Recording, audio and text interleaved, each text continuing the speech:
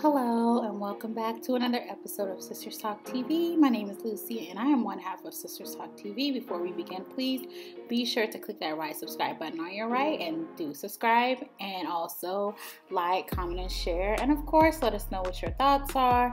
And also follow us on Instagram and Twitter at Sisters Talk TV. That is where we also post all of our updates and if you have any questions or if you'd like for us to address any issues or concerns, please do email us at asksisterstalktv at gmail.com. All right. Hope everyone is doing good so far and, of course, enjoying your quarantine or if you're quarantining, hope you're enjoying that, or if you're doing anything else, hope you're staying safe and you are following all the safety guidelines and regulations. All right. So we have Love and Hip Hop edition, Love and Hip Hop reunion edition. And we have, of course, all the cast members from all the Love and Hip Hop. We have um, some cast members from Miami. We have Love and Hip Hop LA. We have New York. And of course, we have Atlanta. And we start off this scene with Mama Dee, Trick Daddy, and Yandy. They're they're the three that are hosting, of course, this edition of Love and Hip Hop reunion. And they're barbecuing. Trick is cooking. He has his son with him in this reunion. So this is the scene where we see everyone. We see Mama Dee come in. She has apparently Mama Dee has a sauce that she has made for the meat or to go on the meat. And this is her special sauce. And then we also have Yandy, and we see all the we see all the people coming in. We see all the, of course, people coming in. All the cast members coming in. We have Yung Joc and his son. He brought his son, and Kendra was not there. I believe Kendra had a lot of work to do, so it was just him and his son. And he just thinks that this is a, also a great bonding moment for him and his son to spend time together. And then we have Ray J coming in. I don't see, of course, I don't see Princess at this moment, although they are having their issues. I don't see her um, least coming in and within this scene. Uh, we have Paris, April Fizz, Sierra Karlie, Trina and, and Joy, Bambi and Scrappy, Sierra, and of course, just all the different cast members coming in. Now, I want to ask, why is Paris here? Why is she here? And why is April and Fizz, out of all the cast members, they choose to bring April and Fizz? Okay, never mind. All right, moving on. So we have a scene where, of course, Sierra and Yandy they talk, and basically, we all know that Sierra and Cardi are not in a good place as far as what happened after last season of Love and Hip Hop Atlanta. Well, I particularly thought that they were actually in a good state, but apparently not based on what Cardi was basically telling Yandy because she Yandy notices that they weren't talking. Her and Sierra weren't talking, so she confides in Yandy and lets her know that after her divorce with Mo, that Sierra wasn't there for her um, Sierra was just texting her, just being really nasty to her, and Cardi says that she just can't. She ran to the blogs basically instead of you know settling that issue with Sierra. She instead ran to the blogs and just basically dished everything, like all of the issues her and Sierra were having, to the blogs, and they're just not in a good place. Her relationship with Sierra is just not in a good place right now. And then Sierra turns around and says, Why you lying, Cardi? See, she's like, Why are you lying, Cardi? No, you need to stop lying, Cardi. And then Cardi basically lets her know that, well, this is not at the time and the place that we need to discuss this right now. Maybe we can have this conversation another time. Because Sierra wanted to have the conversation and just, I'm not having this conversation with you right now. So we have where Mendeecees, of course, we see Mendeecees, him and Judy. I forgot to mention how they do. They walk in together. And Mendeecees just like he's really happy that, you know, he's out out of the pen. He's he's been there for four good long years, and uh, for mon, I believe he said money laundering and uh, drug trafficking. And basically, he says that Trick was mainly his biggest supporter while he was in the pen. Like Trick was really holding him down. He had his people check his people, like maybe Trick's friends or something, checking on Mendeecees, and he really appreciated that. So he likes the fact that he gets to see Trick and really show him his respect, the respect that he has for him. So we also have Judy and Man- Judy and Yandy.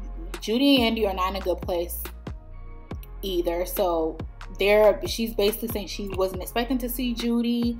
Uh, she was not happy that Mendeecees invited her because she just thinks that this is just between her a good time for her and Mendeecees to bond, just have their alone time together. So Yandy's not really too happy to see Miss Judy. All right, so we also see get introduced to Cardi B's daughter, Jazz, and Jazz looks just like Cardi. Like of course, she mentions how Cardi wasn't really there. Like her grandmother raised her, and you know, Cardi was really doing a lot of modeling, so she wasn't really able to have that moment with her mother when she was young. So, I guess this time is also a time where they get to bond as well. Now, it just seems like, is it just me or is this like Yung Joc is like making some comments, like comments about Cardi and her daughter. Like he's just basically saying how they look alike, and he called he you know he called he compliments Cardi. He said basically he said that Cardi looks really good for her age, and I'm just like Joc, where is Kendra? You know apparently Kendra is back at back in Atlanta and she's working. I'm just like oh lord, Joc, please behave, please please behave. All right, so yeah, so basically, Cardi's daughter, of course, knows what her and Sierra their current relationship status is, and she's just basically here for as a moral support for Cardi, and she's just you know really here to support to support her and just make sure that you know she has a good time.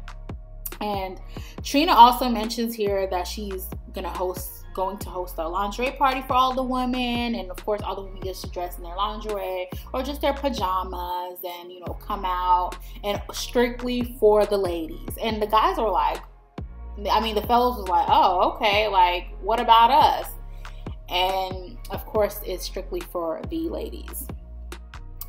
So we also have a scene where um, Mama Dee mentions to Joc and Sierra that Little Scrappy and Bambi was getting a divorce. So, of course, she tells them that. And of course, we know that later on, Sierra will be telling Bambi about what Mama Dee said. Now, fast forward, we're fast forwarding into the pajama party and I mean, all the ladies are dressed. You know, they're dressed. They're at the pajama party, and they, I mean, it looks really nice. Like, the, like Trina and Joy really did a good job. Of course, Trina's hosting this event, and it looks. It's just real. Just it's just a, a good time for all the women to bond, and just basically how the setup was. It's just. It was just. um and just how the, what the event that was planned, I think Sierra and Joy did really did a good job, especially with everything that's been going on with just a lot of the like for instance Yandy and Bambi, I think that it was just a good time for them to really relax and away at least away from their all the issues and that they're that's happening with them and their family. Now Cardi B's daughter basically, you know, mentions to Cardi that, you know, because Cardi didn't want to go to the pajama party. Her daughter was like, you know, you're going, you're going, know, let's just forget about, you know, that person basically referring to Sierra and saying, well, you know, you have me, so we'll you're you'll be good. So it was really nice to have her daughter there because I really feel like Cardi with the relation with her current relationship with Sierra, it's just it's just, she just looks down and she just doesn't look look like herself. All right, so of course we're there, and it's and and then the producers show you know how the guys were enjoying their time while the ladies were you know enjoying their time. So the guys are outside, they're cold, and let's just look like they're not they're not happy about this.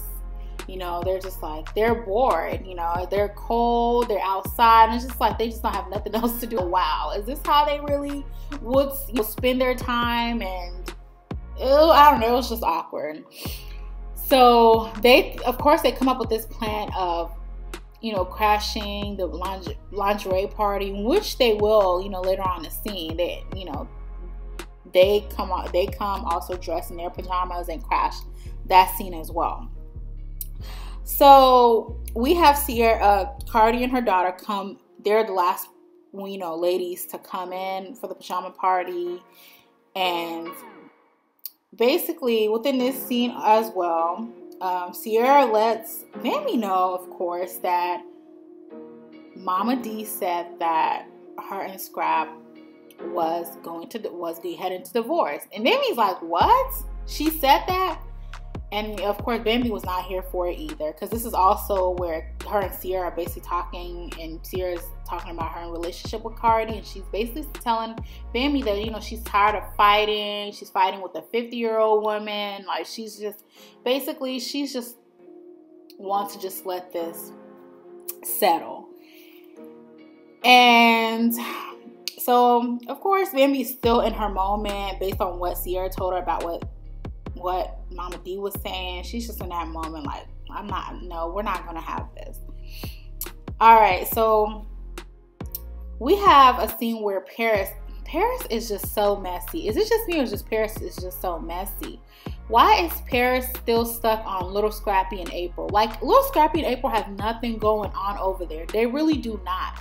And that's why I'm saying, why did they come to this? Like, what is their purpose in this reunion? Like, honestly it's just like Paris is just so worried about both of them. I don't know why, but she's just worried. I, they don't have, they have nothing going on. Little Fizz tells April, you know, you want to go out, go outside or go upstairs, you know, let, let's just have some alone time. Who cares what they're talking about? There's nothing going on with them. Moving along, Paris is just right, just messy, messy, messy. And so we have a scene where, of course, Yandy and Bambi also pulls Sierra and Cardi aside. Basically, Yandy is not feeling it. She's like, you know, you guys have to talk because you guys are sincere. They're both sincere. They're genuine. And she's not feeling it either. She's like, okay, we got to talk. So Bambi and basically Yandy are the mediator to this. And Cardi and Sierra, you know, Sierra lets Cardi know that you know, she's not feeling it. Like she, you know, she's not feeling how the relationship is going. She just apologizes to her, and she can feel she can feel how Cardi feels, and she just I know that she feels that Cardi feels betrayed. But again, when she sees Cardi going back to the blogs and just talking about her, it just brings her back to you know, you know are we really friends?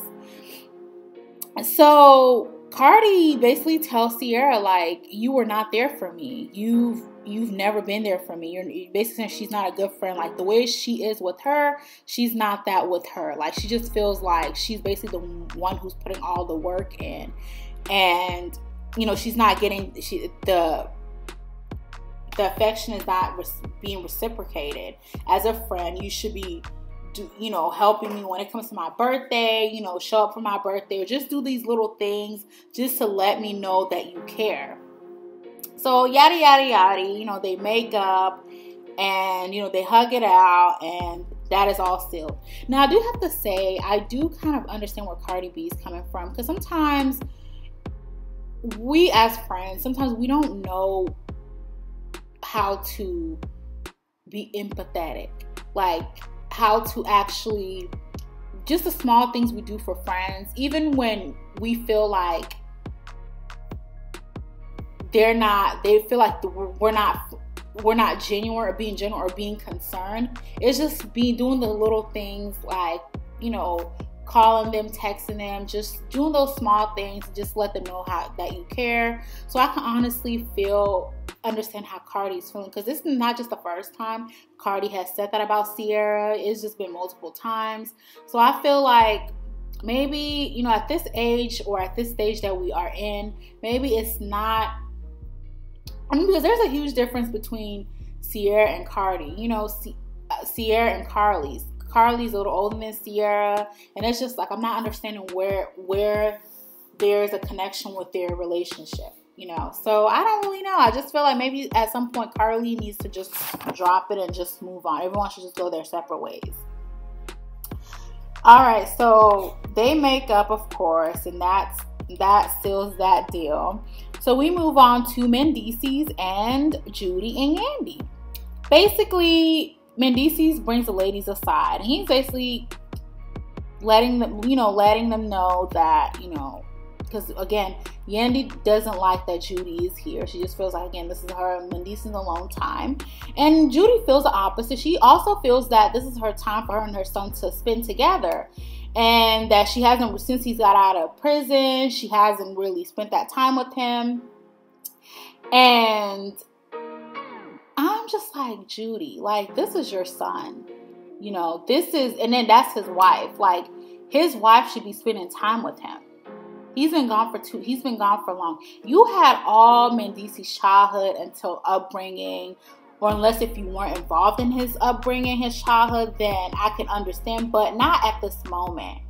So Judy feels the same way, and Mendeecees is like, he's like, like the, the mediator. He's like, you know, uh, this is what we're here for. We're here to work these work these things out and you know, we need to overcome this. And I and I honestly feel how Mendeecees is feeling because again, Mendeecees just got out of prison. You know, everything is he's he just feels like the transitioning. It's just, it's just been hard because everywhere he goes, it's like with his the background that he has and all these crim, you know, cr- the criminal activities that he was involved in, it's just been really hard for him to actually do anything. So even with his, I can understand how that could also affect his relationships because he probably just doesn't feel like he is. He's still Mendeecees. He's probably still like again tr- trying to transition, and he has his relationship with his wife, and then his mom, and then of course his baby mamas and his kids. He's probably just like man, all I need is just some some peace right now. But again, we have Judy and Yandy. And that's what we have to deal with. So let's see. That's what this reunion is for, right? Family reunion. All right, so moving along, there's a scene with the Bam, Mama Dee, and Little Scrappy. And it goes back to, you know, Mama Dee basically telling Joc and Sierra that they were getting a divorce. So Bambi calls Mama Dee to a side, and looks, of course, Little Scrappy's nowhere to be found. Um, and she basically lets Mama Dee know that she heard her that it was something that said that her Scrappy was getting a divorce. And Mama Dee lets her know that yeah, she sent. It all started off when she sent Scrap one of his ex girlfriend's number, and you know, she feels like Bambi shouldn't be so insecure about, I guess, about that particular situation. And I'm just like, Mama Dee, like, you do not do that. These are two people that are, that are, I believe they're married. And why would you be sending Scrappy his ex girlfriend's number? And it's different if you sent it in the presence of Bambi there, and then you're also insinuating that she's insecure. This is your daughter in law who just had two kids back to back. And not even that, she's also trying to transition from balancing that and also balancing life and also having also dealing with Scrappy, in which she mentions that Scrappy's also a little bit childish. So it's like she also has to take care of the kids and also take care of Scrappy. And then it's you. So it's just like I don't know. It's it's at this point I'm just not feeling it for Mama Dee. I'm just like Mama Dee, this is wrong. You should have never done that. You should have never done that. So I definitely will take agree with Bambi at the moment. And whatever happens with Bambi and Scrap, and although Scrappy did tell you that, and which was childish in Scrappy's part, just like Bambi's saying, which is just childish on his part to tell you that. And then that's when Scrappy comes comes and was like, "Oh, I know they're not having a conversation with me." So Scrappy walks over, and Bambi lets him know what Mama D said, and Scrappy is like acting all mad and like, you know, just he just walks away, and I'm just like, "Yeah, but you're the one that said it." So maybe you shouldn't ha- you shouldn't be telling Mama Dee everything that goes on with you and Bambi, especially when it comes to word divorce or you both separating. So yeah, that that was just it for me. I mean, scrap walks off, and that was basically the end of this particular episode. So more episodes to come, but that just highlights everything, all the major scenes that happens. I am looking forward to this this particular edition of Love and Hip Hop. So I'll definitely be get, giving you guys the reviews back to back and keeping you guys updated. All right, so I'm gonna go go ahead off and sign off. I do um, wish you guys many blessings. Um, stay safe and continue to follow those safety regulations. And until next time, peace, love, and blessings.